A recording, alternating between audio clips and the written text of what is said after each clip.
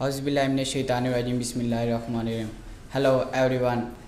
I would like to greet you with Islamic greeting. Assalamu alaikum. And thanks for joining us.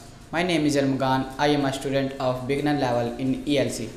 Today I am going to talk about very important topic responsibilities of youth. Well, youth is the backbone of a nation. Youth is responsible to build a good and a noble society. Youth is supposed to work hard and make progress to this country a developed country. They should follow their own culture and customs. They should respect the victories of their heroes. They should avoid bad things and should also guide others not to do bad activities. But ladies and gentlemen, we are the youth and think what we are doing. Are we the backbone of a nation? Think for a while. Being a youth, are we doing a right deed and fulfilling our responsibilities? That's all from my side. Thank you.